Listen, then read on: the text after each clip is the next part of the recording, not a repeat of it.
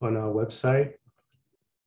I'd like to welcome everybody to the 10th Crocodile Specialist Group Virtual Drone Workshop. Um, I hope everybody's doing well and staying safe. Uh, this is our, as I said, 10th chat. Uh, we've had very interesting speakers throughout this year, and uh, we hope to continue these going into next year and leading up to the uh, meeting next October. Our speaker today is uh, Desai, who is a PhD student at Ahmedabad University in Gujarat. Uh, she'll be presenting on development of an automated biometric system for individual identification of mugger crocodile.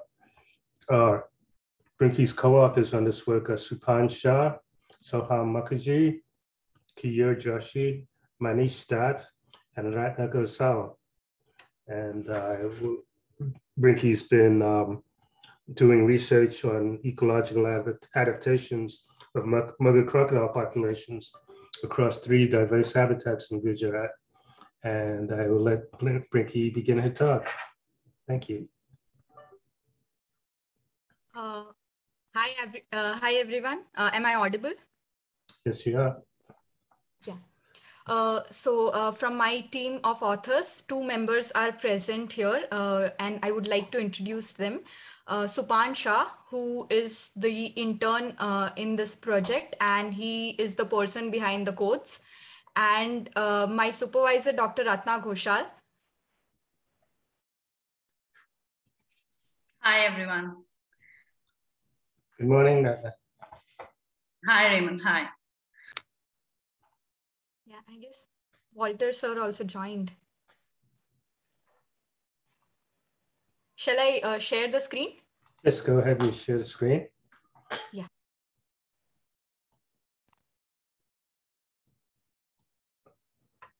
Is it visible to all? Yes, you can go into presentation mode. Yeah.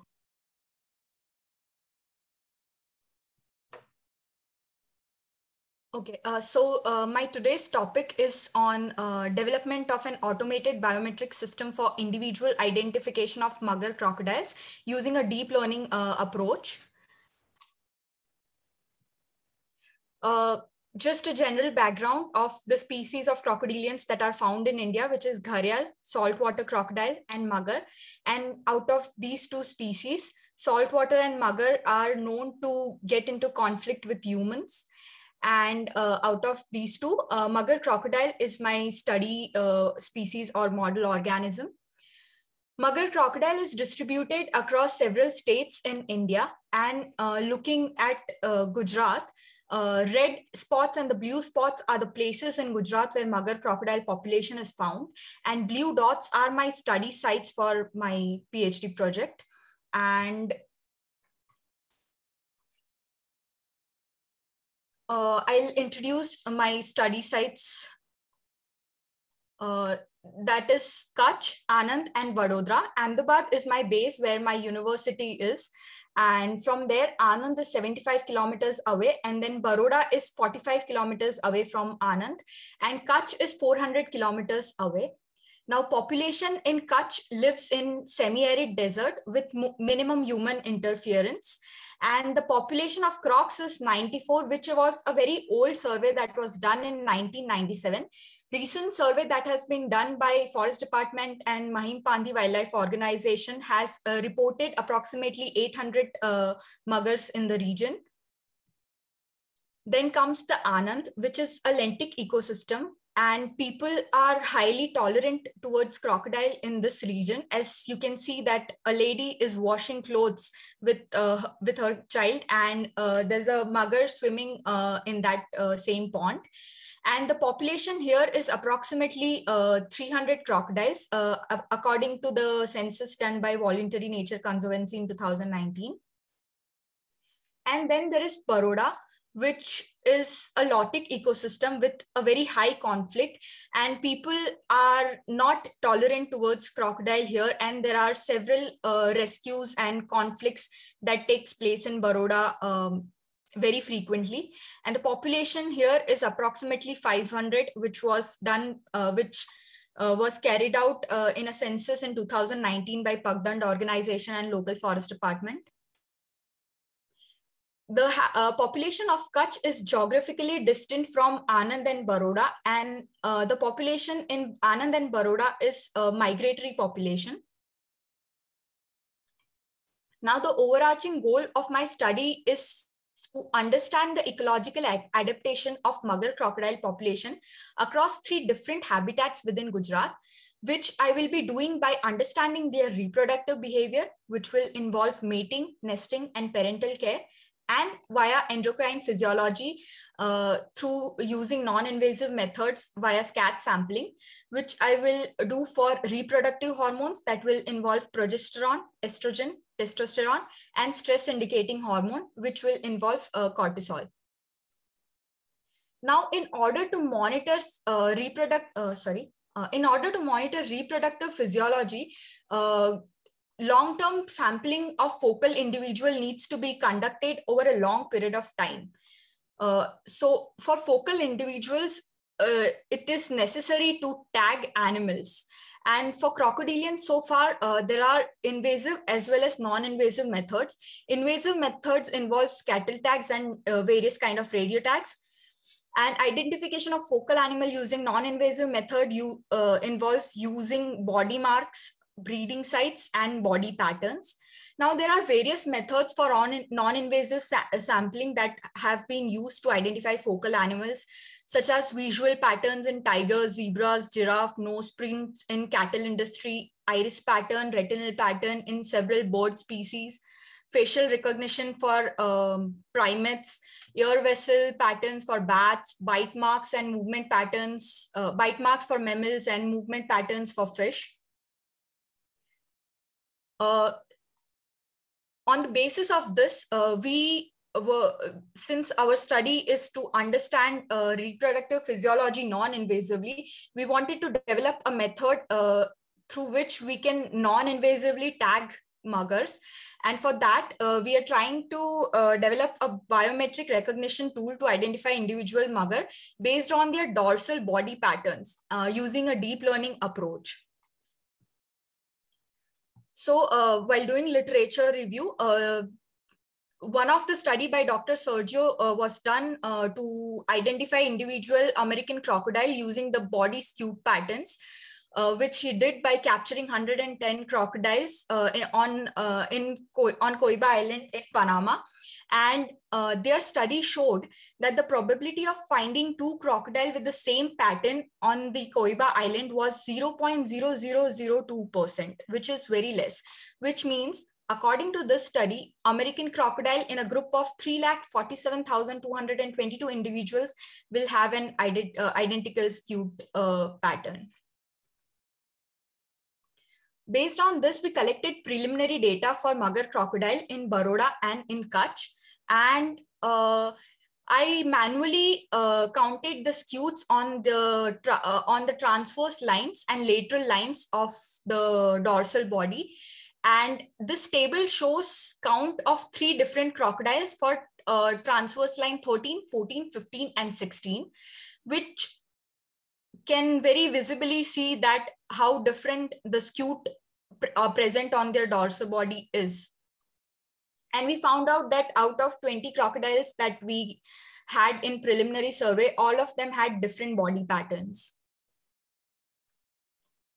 Uh, which brings us to developing uh, this method using a deep learning approach or using a deep learning algorithm.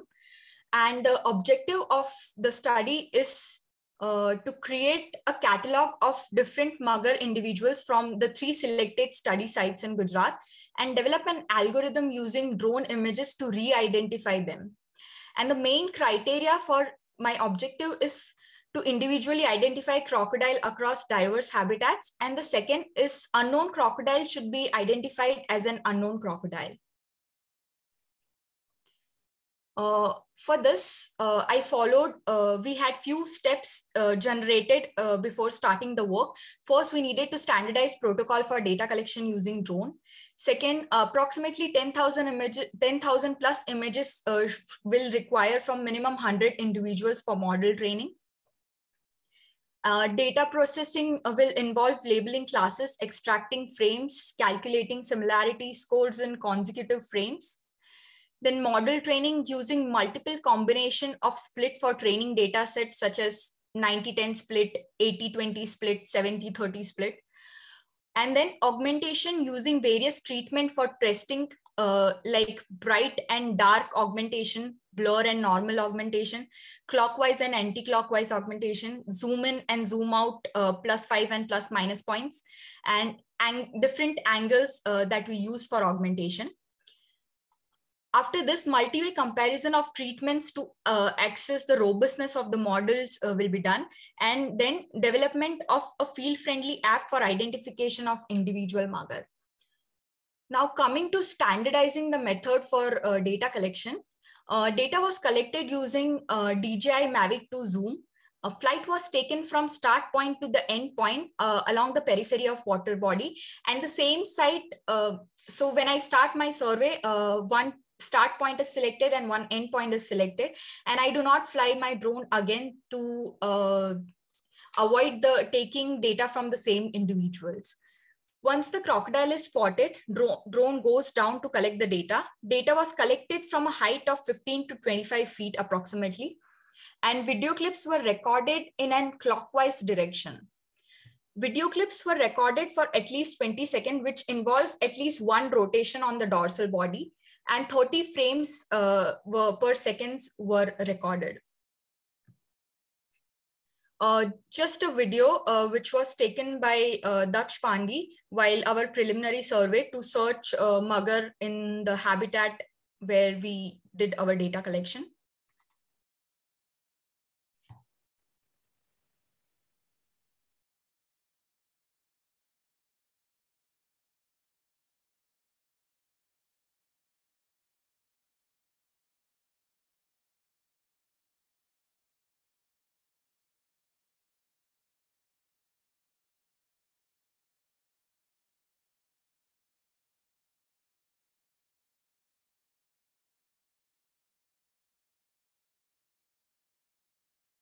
And uh, then uh, the uh, anti-clock, uh, sorry, the clockwise rotation that we did for collecting uh, the frames.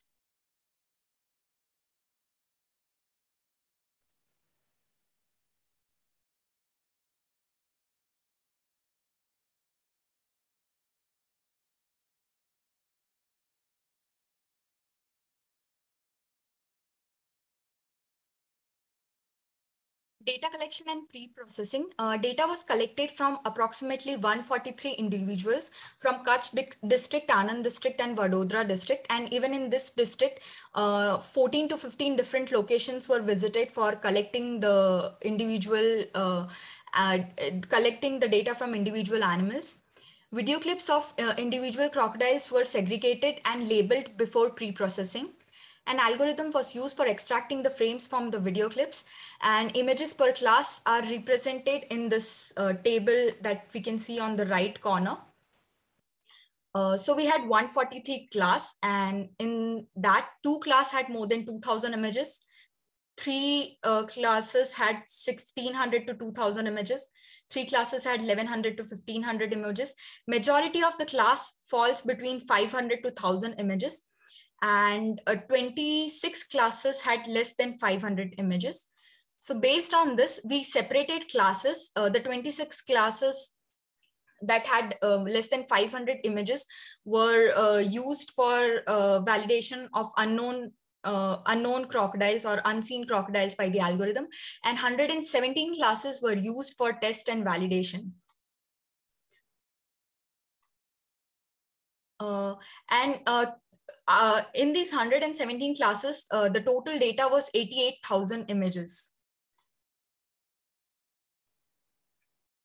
We used a different data set for, uh, for analyzing the robustness of the algorithm the first data set had 125 images. This was uh, created based on the similarity scores and similarity scores of consecutive frames was done. So if uh, 30 seconds has 300 images, uh, uh, the similarity score between first and second frame uh, was calculated, then second and third frame was calculated, and so on. And uh, the difference the, there was a high difference between uh, similarity score of first and fourth frame. So every fourth frame was selected uh, for uh, creating the data set. And uh, by doing that, we created 125 images per classes for 100 and, uh, 125 images per class for 117 classes. With that, the training accuracy of our model was 96.57% at 20 epochs. And the unknown, unknown accuracy at threshold 0.9 was 57%, which means that an algorithm was able to identify unknown crocodile as unknown with 90% confidence uh, and it was 57% accurate. Then we had another data set, which was a weightage class balance images. And for that, we used 100 and uh, again, 117 classes were used for weightage class balances where uh, the images, where all the images uh, were taken for all the classes and they were weighted uh, differently. And the training accuracy for the same was 97.16% after one epoch and unknown accuracy at threshold point time, which is 90% confidence, was 56.18%. And the last data set uh, that we tried was using first 500 images from all the 117 classes. And for that, the training accuracy was 99.72% at three epochs. And the unknown accuracy was also good uh, at uh, threshold 0.9 0.9, which is 90% confidence. And it gave us 75% accuracy. So, which means the crocodile images that are known to the model were identified as known with a very high accuracy of more than 95%. And the new crocodile image that are unknown to the model were identified as known only in one out of four cases.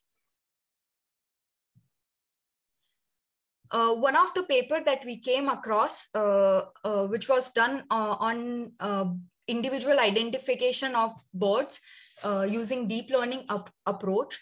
Uh, they there uh, also their study was uh, very much uh, similar uh, to our methods and at 0.75 threshold which is at 75% confidence the model was able to identify unknown birds as unknown with 17% chances so uh, to decrease further, in order to decrease the false positive rate for unknown classes, we have manually created bounding boxes in 80,000 images for model training. So uh, if you can see in the left, this is how the bounding box was created in all the 80,000 images. And currently uh, we are we have completed the annotation of 88,000 images by creating the bounding boxes. Uh, labeling of images is completed. Uh, we have also annotated the data and we have converted the VOC XMLS to YOLO compatible format. The bounding box that have been created, that are created are now compatible to the YOLO algorithm. And we have created the training dataset, validation dataset, and test and different type of split dataset. And we are in the process of uh, model training right now.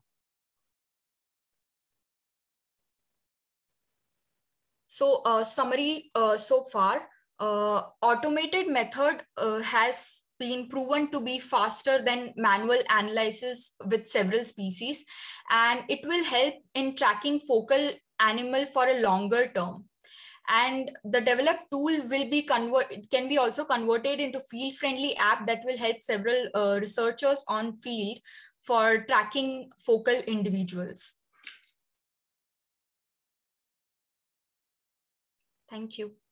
And I would like to uh, acknowledge Yesha and Sajil, the interns who joined um, who joined the project project from Ahmedabad University, IUCN Crocodile Specialist Group for the student grant, Mr. Walter from Island Foundation, and Mr. Lonnie for uh, funding the project uh, for with drone and all the field expenses.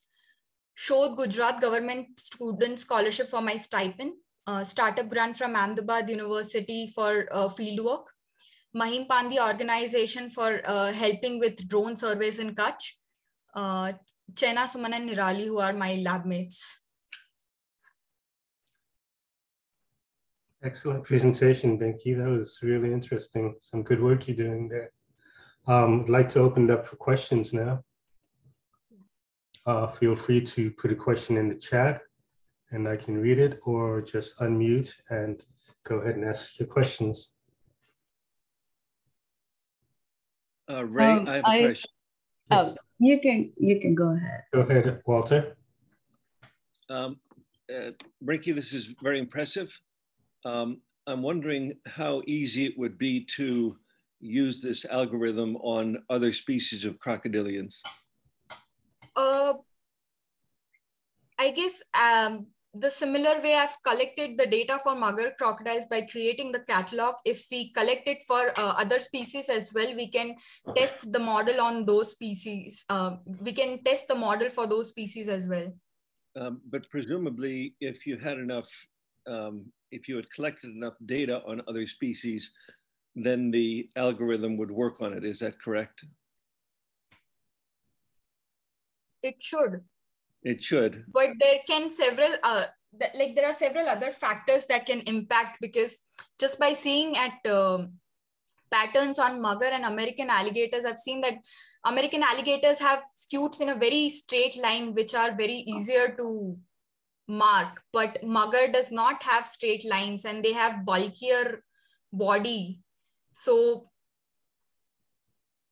it, uh, I mean, uh, the algorithm can work on them, but data needs to be created. And just like we are using several threshold to fine tune the algorithm for uh, checking, uh, for preparing the robustness for uh, identifying individual muggers, similar uh, process uh, can be done for other species as well. Okay. Sneha, you had a question? Yeah. Um, can you go back to your AUC slide, please? Uh, which slide? See um, where you're showing your threshold, AUC values. Yeah.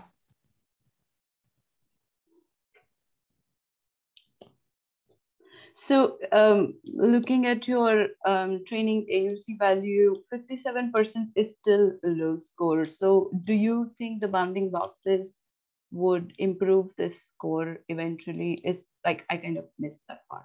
Yes. So uh, uh, the 57% and the 56% that you see is for a different kind of data set and yes, the 75% yeah, uh, is a different kind of data set.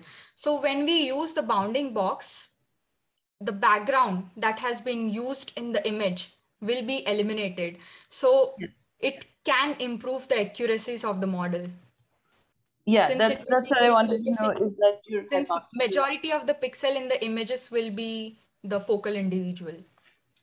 Okay yeah that's um that's good to know. And maybe uh maybe this could be this could be an answer to walter's question too because uh, this method can then be used for other crocodilians as well.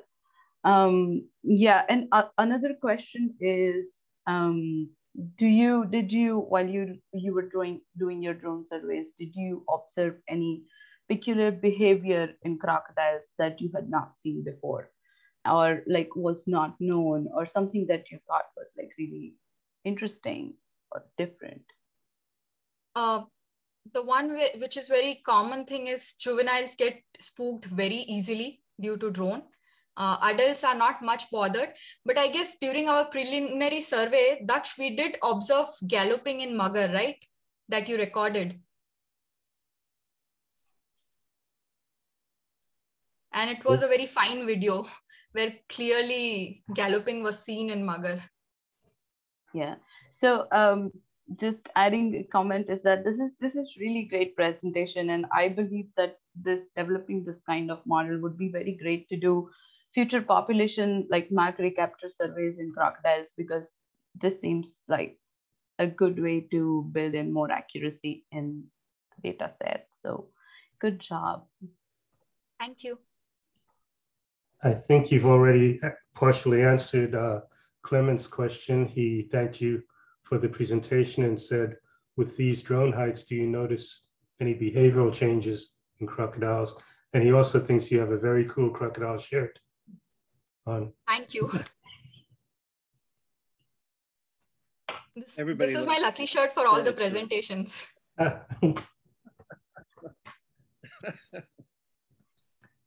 Okay. Uh, Were there any other behavioral changes besides the one you just uh, spoke to Sneha about? Uh, Behavioral Uh, changes? uh, not much because I was very careful and not disturbing them because in India rules are very strict and forest department can stop my project if they see that my work is unethical. So yeah, I would I would keep it to my work, get my data and get back to my university.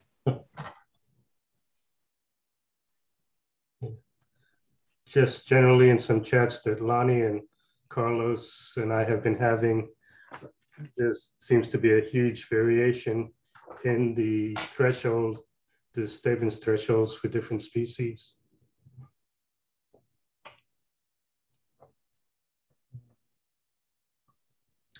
Any Um, other questions?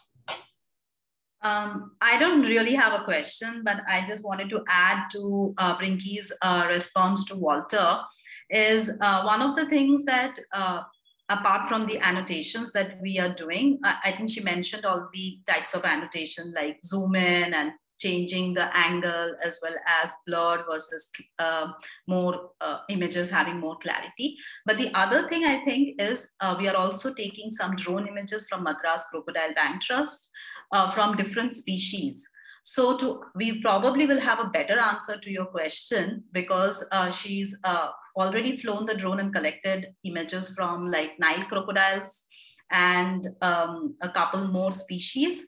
So how does it algorithm works on different other species? We soon will have an answer to it because we'll put the same algorithm but use as unknown a different species.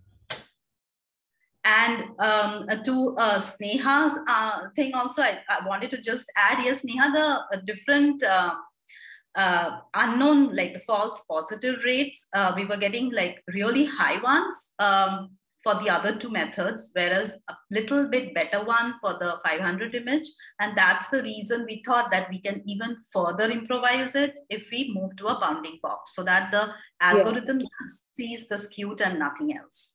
Yeah, because one out of four individuals as false positive is still uh, a little high value. Like AUC values uh, generally below 0.5 is considered to be not great. But um, yeah, as, as you're already working on improving the model, and this is work in progress, I'm sure I'm sure like machine learning has been such a great field, and I'm sure this can easily be worked on Right. And we we had like, you know, for the AUC, I think Supan can also add in here. We were doing, we are doing really great in terms of AUC and training. So that is above 90%. Like for known crocodiles, it is working great. The crocodiles which are there already in the catalog. But I think we want to reach that stage where the false positive rate is super low because of two of the field sites that Brinky has has migrating population between Anand and Vadodara. Yeah. So the crocodiles Yeah. can move from one side to another. We don't want unknowns to get identified as known ones in the backlog. Yeah. But re-identification of known or seeing the known, training on the known, that's all is working great.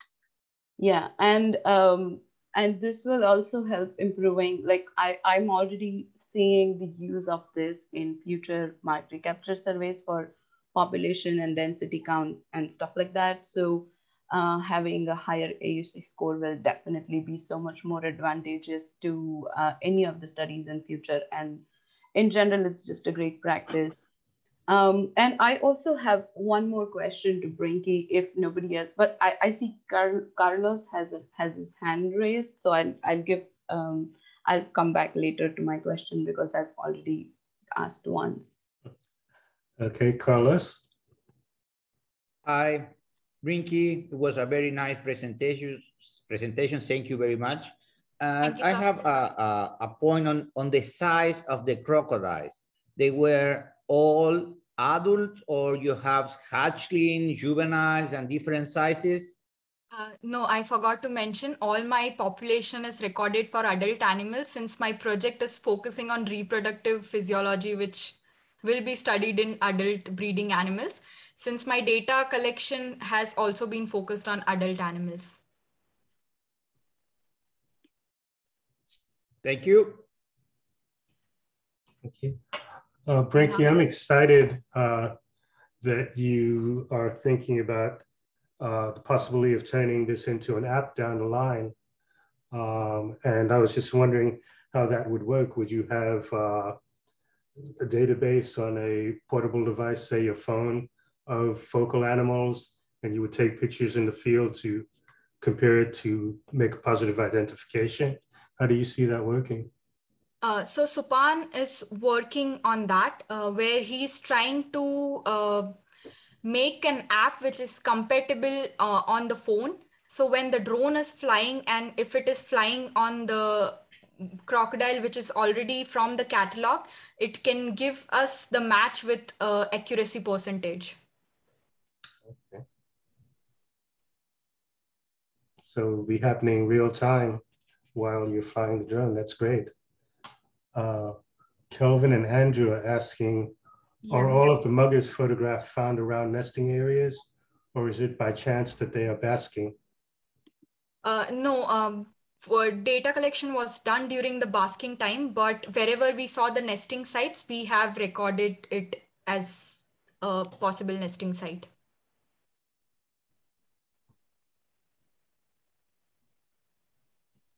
Um, I have one more question, and this is more like thinking out loud do you think there will be um, if you look at different populations across the country do you think there will be like a huge variation in the scute size. More like this is just thinking. I'm i was just thinking of different because of such a wide widely distributed species. What do you think would be? Um, yes there will be a difference because as uh, it has been already done in american crocodile and they have run the statistical models and they have come up with the probability of finding same scute pattern is so low in more than 3 lakh animals so mugger population across the country will have different scute patterns and if we find more collaborators locally to fly the drone and get the data we can probably put it up to run. Uh, yeah, that is extremely amazing. Your presentation and the work is so novel in the country. You're probably one of the first, or maybe the first, to do this. So, congratulations! It's it's amazing. Thank you. Lonnie, you had your hand raised. Yeah, great presentation, Brinky. Are you going to try to um, try to start taking photographs of juvenile animals to see if their patterns change or see if you're going to be able to track individuals as they grow um, in population? It's very difficult to even take the drone closer to the juveniles because but I could guess you could you start with from, actual photographs from a, another camera on the juveniles and then as obviously um, they grow and either get used to the drone or as they get um, more confident around the drone, you'd be able to use both photographs from a camera and the camera on the drone? Uh, so all those possibilities can be tried, but uh, I also have many more objectives to complete my project on understanding hormones. So I'll probably have to leave it to some other interns or upcoming PhD students or master students to do that work.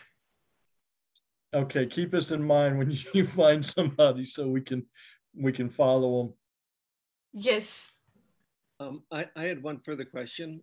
Um, yes, sir. Which is um, apparently with whales, one can um, determine the age by um, by an algorithm. Um, so as a as a whale grows, you can it, it changes shape and and and and the shape relative to other parts. Um, might the same be true of, of, of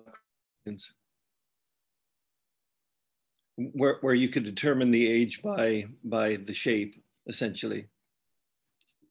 So basically, um, uh, by the size of the whales, they can um, estimate the age? Uh, it, it's it's the relation of one part of the body to the to another. In, in other words, you you measure it at the mid level, and and as it grows, it it it takes on a different proportion um, as it gets older, um, so that one can essentially age a whale um, just by taking a photograph of it, um, because they have certain proportions. Um, younger ones have different proportions than older ones, and and um, um, I was just wondering if that might be true with crocodilians as well. Uh, I guess uh, me and Phoebe both are doing something in the same line. Phoebe is trying to um, come up with a method where they can uh, estimate the size of the crocodile based on drone images. And what I am trying to do here at uh, MCBT is uh, try to understand their body condition scores based on drone images. Um, if, so if it's you, still in the process right now of if, if you want uh, further, uh, standardizing the method. Yes, if you want further information about that, um, I think it's on the Duke website. Um, it's the Duke and uh, Duke Drone and Remote Sensing Lab. Um, but I think they have information about that there. If they don't, I can send it to you. Yes, okay. they, they, they do. Yeah. Yeah, I, I'll I'll I will check that out. Um, I will just come in here, although I try not to when the student is presenting, but I'm back again. Walter, to add a little more uh, to what Brinky is saying, when uh, we were trying the first time with the image vision, like we were actually trying to pick the scutes uh, based on their contour and shape, that time there was, uh, we were thinking about taking like inter-scute distance or distance of the scute from the nuchal area. This uh, muggers have like a little bit uh, kind of like not like gharials, like not really like a um, uh, uh, uh, dome there, but there is a kind of dome. We were taking those distances into consideration when we were trying out different algorithms with image vision. What is happening in the deep learning, it's kind of like a pattern recognition. It really does not tell you what exactly it is reading in that deep learning algorithm. But uh, anecdotally, we have also uh, seen that there is, like if we would have gone a little more further with the image vision, we would have seen a little bit differences between this inter-scute differences across different age groups or life history stages. Uh, Walter, can I also, um, I just want to, like, I, I think your, your suggestion is really interesting. And I think if uh, this would not like this would involve a different kind of uh, different kind of approach probably geometric morphometry that people do may be useful. Is that what you were talking about? Um, sorry would you repeat that? Um, were you talking about geometric morphometry that that was used in the whales to see the proportions body proportions? I, I think that's correct. It's it's a name I I I would recognize if I saw it, but I can't remember it. But it's a, a name like that, yes. Yeah, so I, I think geometric morphometry has been used, I think, in turtles too. And I'm I don't see why it wouldn't work for crocodiles. So I believe I think that might be something that could be interesting and probably useful of to what you were saying. Probably that's Thank you. But uh, so uh, I would just like to add a point uh, because we were also thinking of doing this, but there are several factors that will impact uh, when the substrate of the crocodiles changes.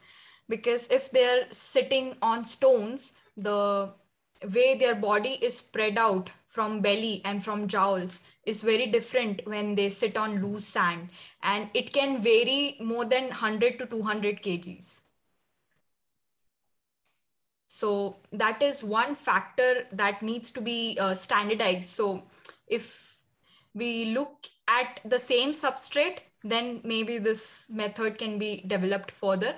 But since everywhere muggers will choose to sit on different substrates and they'll keep moving according to the amount of heat they need to regulate their body temperature.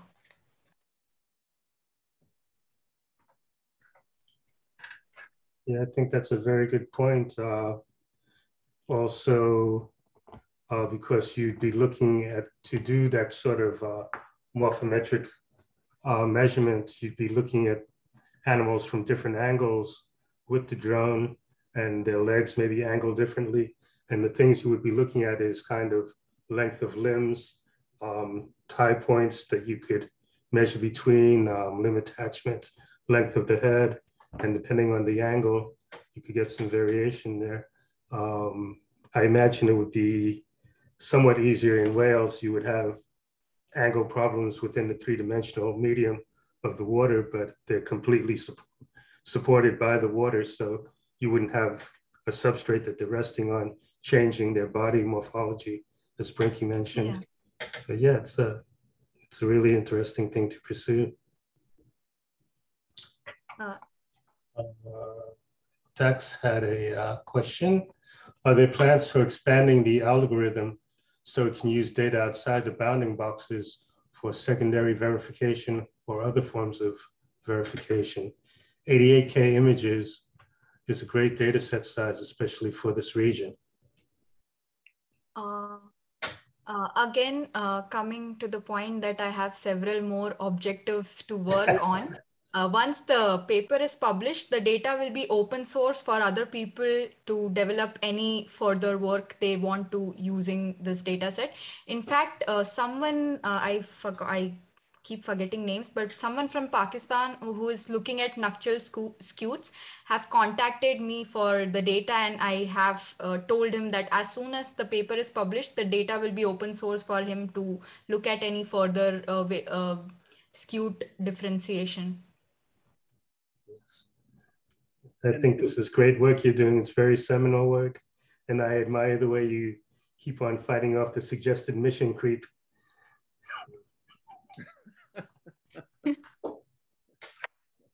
uh, Brinky, what's your timetable for publishing the paper and, and completing your doctorate? Uh, completing the doctorate. And, and also publishing the paper. Uh, publishing this current work, uh, we are already working on the result part. Methods and introduction is almost done. So yes, fingers crossed for submitting it soon. So within well, that's also a question, Walter, from my side. So what is the deadline for this manuscript, Brinky? yes, I have to update that and also the second question I very much like from Walter's side, what is your timeline for your doctoral uh, like you know degree because you keep adding new objectives to your thesis. but soon. Everything soon. okay.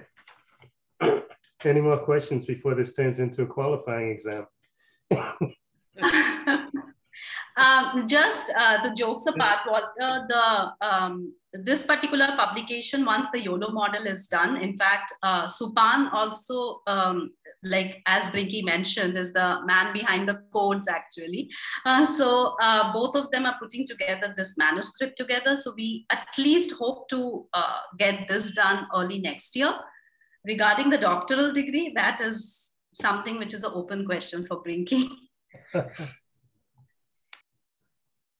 That's great. Okay. Uh, do we have any further questions? Very impressive. Yes. I certainly am looking forward to it. Uh, uh, two new messages. Uh, Clement is asking, uh, no, that's Oh, the, they're just messages thanking you for the talk. Great presentation. Thank you so much, Brinky, for such an interesting presentation. Can't wait to hear more about the next stages of this work from Phoebe. Thank you so much, everyone, for your time and listening to my presentation. Oh well, it's been it's been fascinating, and uh, we're all uh, waiting to see what comes next. Uh, with that, I'd like to uh, bring this session to an end. um, thank you everyone and wanted to give everyone in the group best wishes for the holidays and the new year. We'll let you know via the uh, email server when the next uh, talk will be.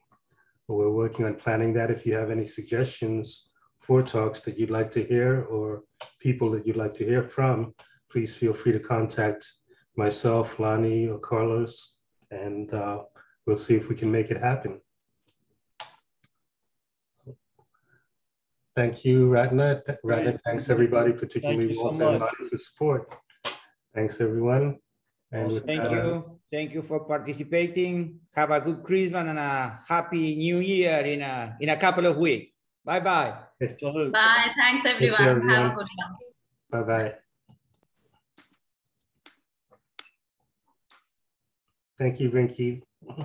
Sir. Bye, sir.